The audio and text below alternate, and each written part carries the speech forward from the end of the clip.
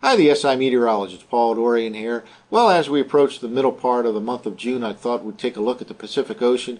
There are some important changes going on now in terms of sea surface temperatures in the tropical part of the Pacific, just off the South American west coast.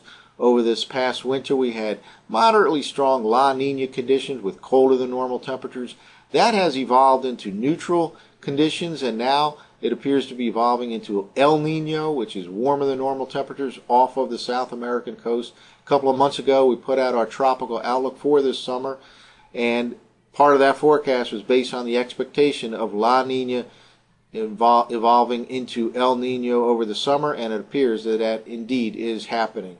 This is an index, a running three month average of El Nino, La Nina, that's kept by NOAA. Negative values here represent La Nina conditions or colder than normal temperatures. And over the winter, we had as low as negative 1.0, a moderately strong La Nina, but you can see that's been weakening over the past several months. Again, this is a running three month average, so it's kind of slow to pick up on sudden changes. And in fact, I think now we're already seeing signs of El Nino. This may take a couple of months here with this running three month average to actually reflect a positive value here. But the trend is definitely from La Nina towards neutral. And in fact, it looks like El Nino is starting to form right now. Well, in fact, let's take a very the very latest look at the sea surface temperatures here off of uh, the South American coast. And right here is the west coast of South America and all the orange and yellows represents above normal temperatures. And this is in fact the El Nino that's starting to develop. We had colder than normal temperatures there uh, about six months ago. We'll take a look at that in a moment. But again here it is. This is the onset of El Nino which should continue to strengthen over the next few months and probably last right into the winter time of 2012-2013. Now this is important because it has uh, quite a few ramifications in terms of global weather conditions here. First of all, probably uh, uh, reduces the chance of a widespread drought here in the U.S. over the summertime, especially when look compared to last summer.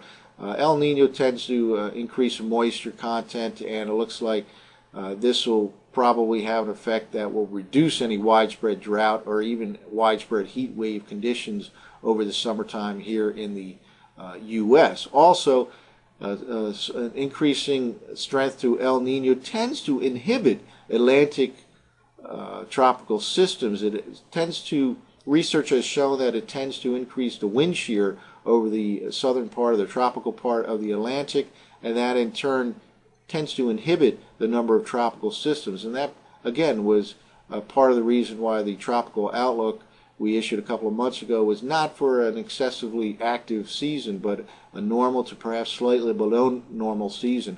Now, in terms of the upcoming winter, that's still several months away, of course, but it certainly looks like a different pattern compared to last winter when we had a La Nina. And of course, we had a very warm winter throughout much of the eastern and central part of the country with uh, a lack of snow, well, certainly the overall pattern of the Pacific will be quite different for the upcoming winter months.